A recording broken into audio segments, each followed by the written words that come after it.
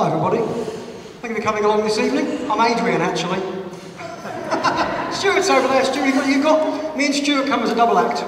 So uh, you've got me first, and then Stuart's going to talk about some of the technical stuff that we do. Uh, firstly, I want to say a big thanks to, to, to Mayor Pat, who has facilitated this evening, and it's fantastic to see, well, I've counted 60, 70, 80 people here tonight. It's absolutely wonderful. So thank you all for giving up your Monday night and coming to hear us blather on for, for an hour or so.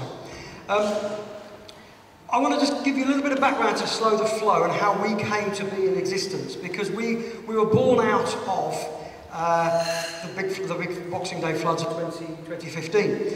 And we got together, a group of us, to decide we needed to do something about this. We needed to understand the, the, the, the scientific reasons why the Calder Valley floods. Now, the Calder Valley is always flooded. It's, you know, the records go back four or five hundred years. Um, but we wanted to find out why. So we, we put a big, really good team of trustees together and volunteers together. And we embarked on, um, oh, I can't, tell you what, I'll do this bit first. I'll do this bit first. You might have heard last year, we actually won the Queen's Award for Voluntary Service, which we were quite pleased about. Calderdale had something like um, 14 winners, and we were one of them. I mean, it was, it was incredible. No, sorry, West Yorkshire had 14, Calderdale had about seven. And we were great. And, and the great thing about the Queen's Award is that it recognises all the work that we've done at the likes of Hardcastle Crags. Now, you've all been to Hardcastle Crags, you all live fairly locally, and you'll all know about the work, hopefully, that's gone on in Hardcastle Crags. We've been working there with the National Trust for about four or five years, building now, we number probably 700 leaky dams. And the leaky dams, and Stuart will talk a little bit about this, potentially, but we, they're all on our website. There's lots of stuff documented about how the leaky dams work, but essentially they slow the flow of water down in the tributaries that feed the big rivers, okay? And when you've got 700 of them, they make quite an impact. It means that the river levels are slightly lower, the, the river moves in a slightly different way. And as a result, anecdotally, and now we're proving through science and through some of the monitoring that we're doing, that what we're doing actually works and it, it does uh, affect the way the river into Hebden Bridge works. And what we want to do is, is to try and build that along the valley. It's not all about Hebden Bridge. You all, you know, you, many of you live in, in Todmorden and, you know, it's not all about Hebden Bridge and Mytholmroyd. We want to work here in the Upper Calder Valley as well. So, uh, and, and the Queen's Award has gone to not just a, a dozen or so trustees that have worked with Slow the Flow, it's all the, probably a thousand volunteers over that time that have worked, worked with us, and some of you are here tonight, I'm not going to embarrass you. Sam? Um, but, you know, it's, it's, it's, it's a team effort and it's been fantastic and we want to try and we want to try and build on that through Mayor Pat's help by building up some of these networks and some of doing things for ourselves instead of solely relying on you know, the, the, the government and the local authorities and the Environment Agency because we can do things for ourselves along with you know the stuff that the stuff that they do. Um, so please have a look on the website slowtheflow.net because there's some fantastic blogs, there's some great um, uh, articles on, on the kind of natural flood management processes and techniques that we utilise. Um, some of the other work that we've done, and I'm not going to go into great detail because we are pushed for time, and I'm sure you don't want to be sat here at 10 o'clock tonight. And believe me, I could sit you here till 10 o'clock tonight telling you about what we've done. But you know, we, we've done a lot of work in Mytholmroyd, for instance, with um, sustainable drainage, uh, on, on looking at how you can slow the flow using sustainable drainage methods. Again, the information is there on the website. Sarah Jane's already touched on some of that, things like water butts, things like other things like tree planting, uh, attenuation ponds, which Stuart will talk about shortly.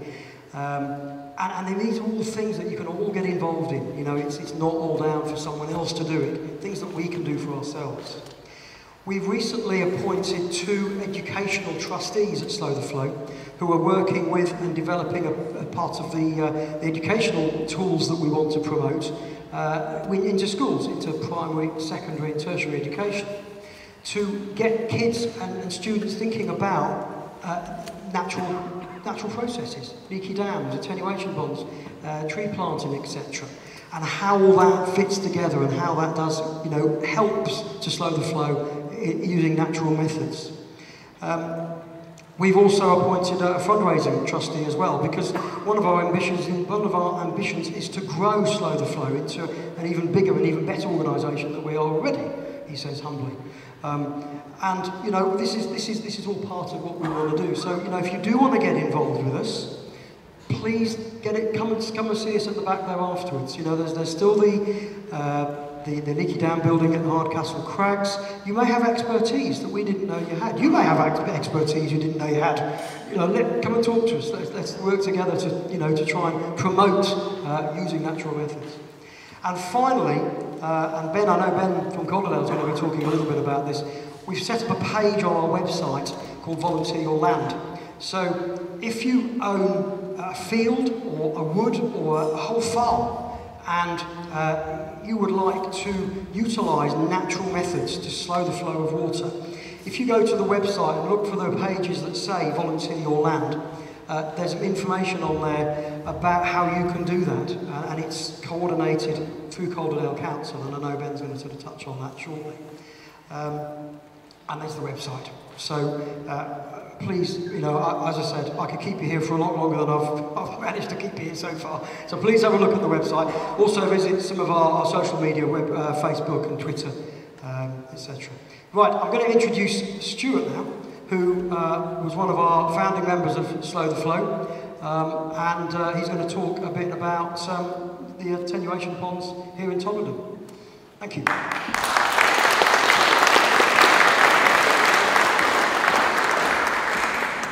And he's got a cold as well, so...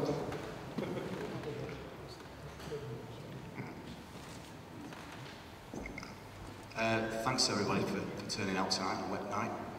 Um, so my name is Stuart Bradshaw. Um, I'm, I'm uh, well, I trained as a civil engineer back in the 1980s. Um, we just had the sales department on from Slow Flow. I'm the, uh, the technical department, if you like. Um, so what I'm going to be talking about is these three little projects that I've been involved with here uh, in Topperden. And uh, the first one uh, was done in 2016, and it's up Woodhouse Road, if, if anyone knows that. Um, there's a little hamlet up there of, five uh, of about eight terraces, I think there are, and uh, they've been continually flooded uh, since about 2007, I think. They've been flooded three times. Um, so after the Boxing Day flood of 2015, um, each of those properties that were flooded, there were five in total, they were received a, a grant from Calderdale under the repair and renewal, uh, repair and renewal scheme that was available at the time. So they, they each got £5,000, so the, the, their budget was £25,000, and, and Calderdale asked me if I'd go and have a look to see what we could do there. Uh, so when I arrived there in the spring of 2016, um, I was confronted by um, five uh, very upset people, uh, as you can probably understand. Um, but they, they did have uh, uh, uh, you know, some promising landowners that they were surrounded by. So there was a field in front uh, and a field behind the properties.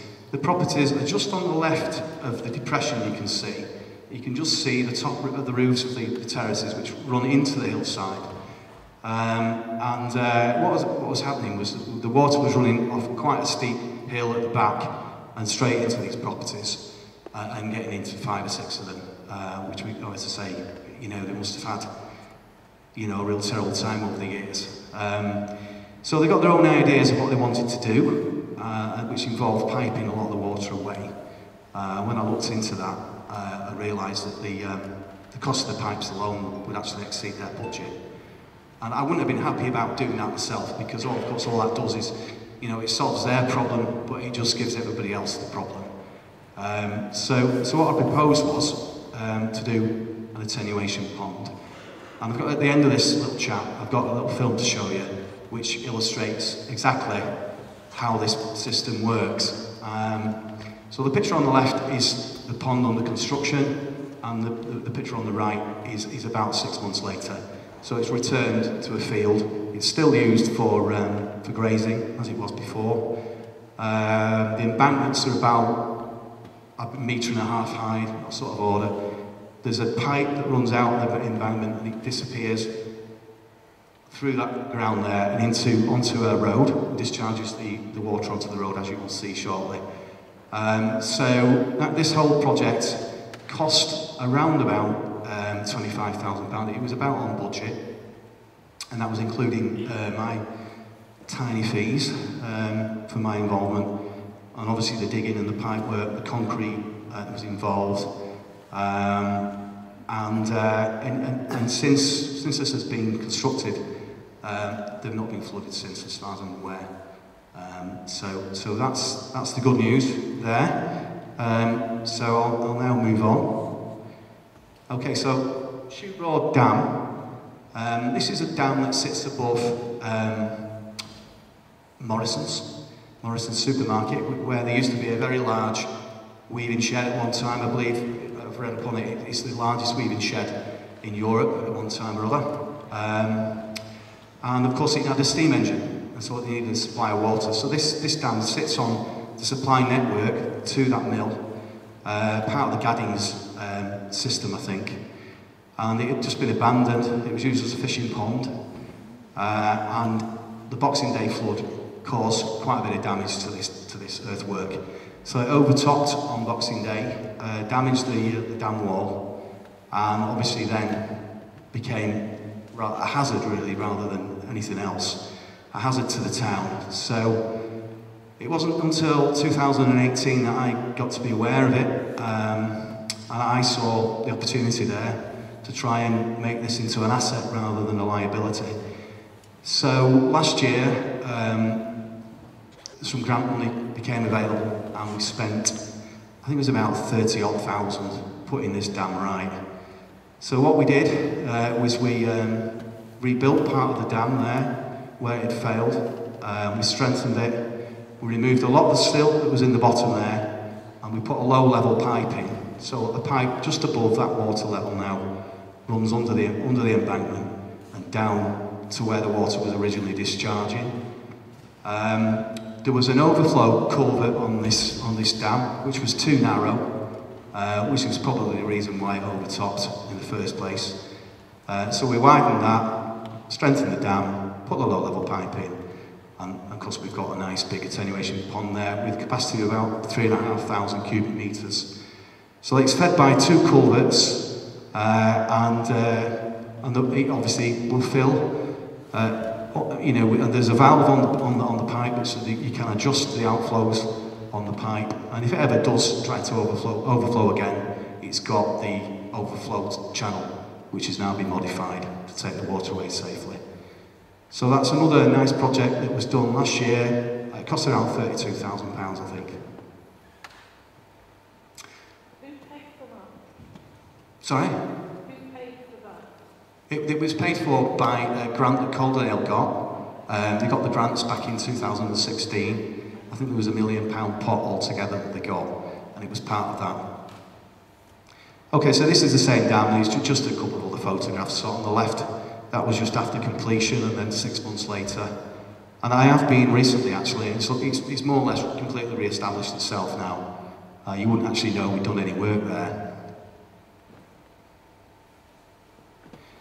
So this is another project. This is up, up Cross Lee Road in Todmorden. So this is the hillside that sits, sits opposite where the caravan place used to be. Um, and what you can see here, and if you go on Google Maps, I've had a look tonight actually, uh, you will see a scar on the landscape just above there. And this is actually what it is. It's, uh, this was a flat field uh, prior to the Boxing Day flood. And in this flat field was a culvert um, a stone Roman design culvert, so in other words, flat bottom, flat top, stone sides.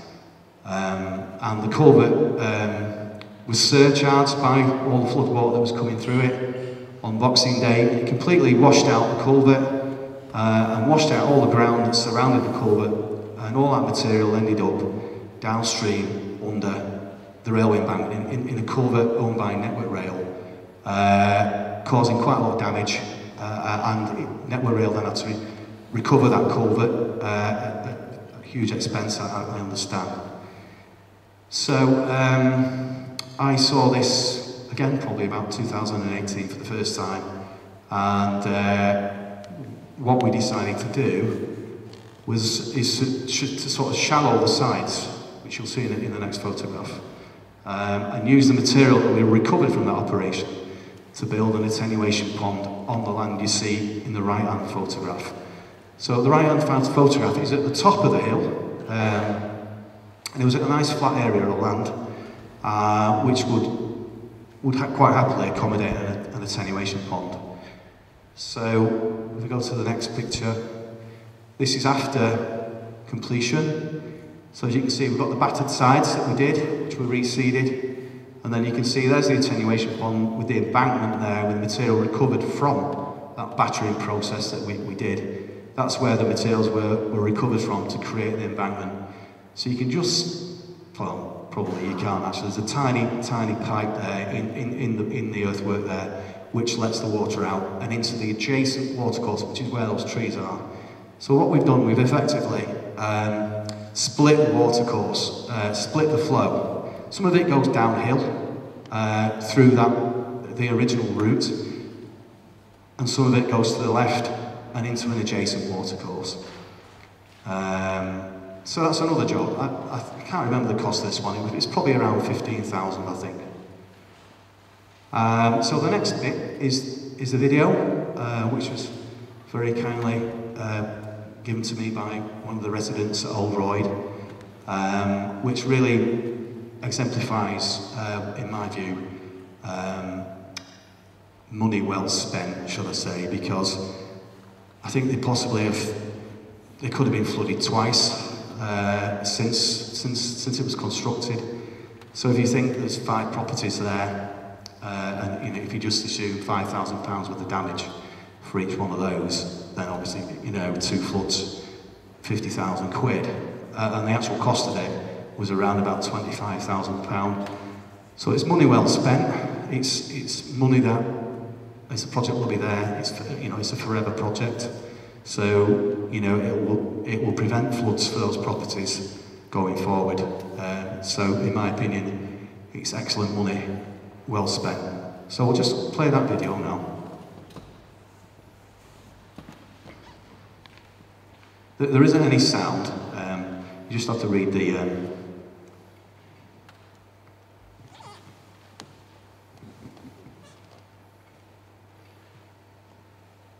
so the, the, these photographs, or this video was, was done uh, in February last year uh, during the Storm Ciara flood.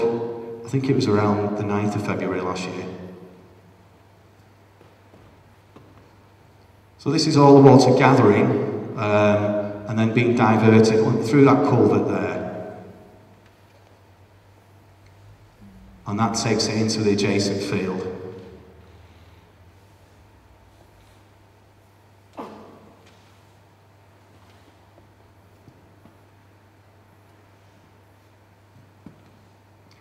So that's the attenuation pond there, um, storing the water.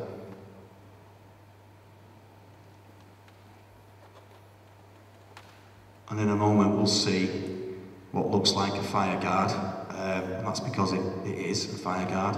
We'll see it in a second. And this is, this is for keeping rabbits out of the, out of the pipe.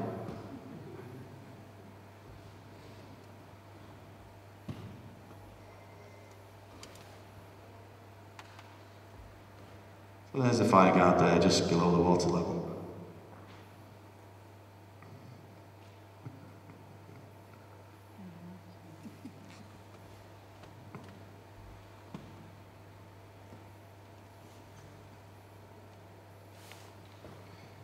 Yeah, so this is the outlet now, just downstream. Uh, it, it, brings the water across um, an access track just in that turn buyer, and then we we put a concrete channel in all the way down the side of the um, the road there. And this is the this is the route the pipes would have taken if, if we'd have gone down the pipe route.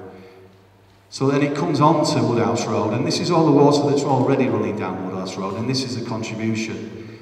So you can see this is a lot clearer, this water, and that's because it's been through the attenuation pond.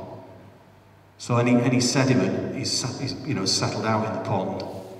Everything else on the right is already flowing down Woodhouse Road. And of course, all this is heading now into the canal. Um, this is a little uh, channel that runs at the side of Woodhouse Road. and that's where our, our water's entered as well into that channel.